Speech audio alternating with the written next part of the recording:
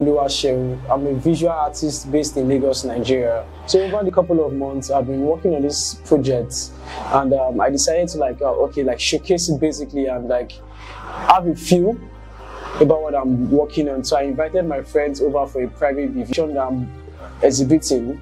It's called Colored Reality. Colored Reality is a collection of eight paintings with AR embedded. AR simply means augmented reality. So basically, I've been seeing people paint over the years, even when I was in school and everything. I've been seeing the normal style of painting. There are different movement, different style, everything. So I thought about okay, and I stumbled upon AR, which makes me bring my artwork to life.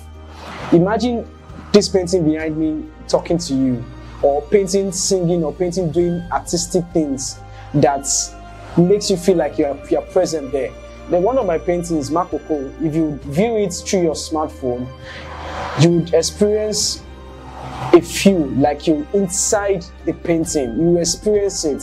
So basically, that's the kind of feeling I want my audience and viewers to, to feel. You understand? Feeling the artwork, seeing the artwork, hearing the art. So much love this artwork because it has, it has been what I've been working on since 2017 to date, and I would love you guys to journey with me and my first solo art exhibition on Maya is coming.